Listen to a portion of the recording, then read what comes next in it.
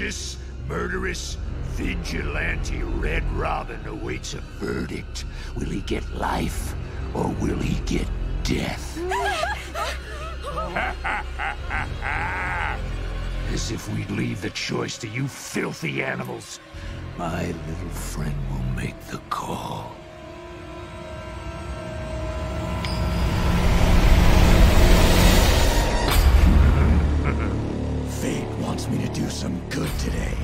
I'll start by saving Gotham City from the mass murderer, Red Robin. Your verdict? Guilty. My judgment? Dead.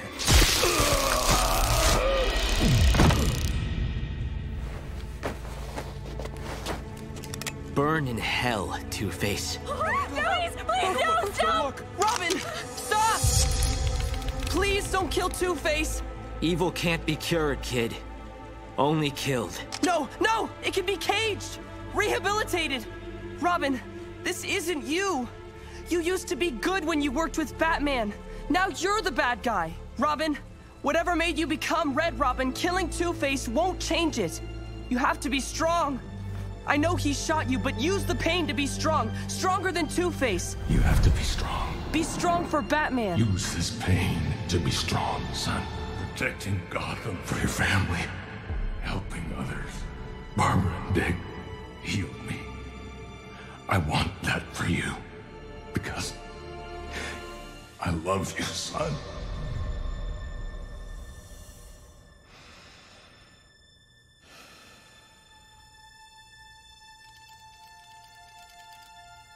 You're a spooky kid, you know that? You win. So, what do we do now?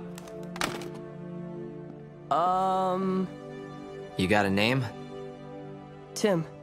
Uh, Tim Drake. Evil can't be cured, only killed. Whoever said that is a jackass.